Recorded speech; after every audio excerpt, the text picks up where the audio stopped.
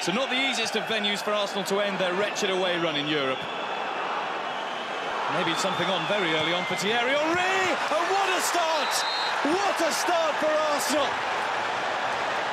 Gilberto breaking forward right on cue.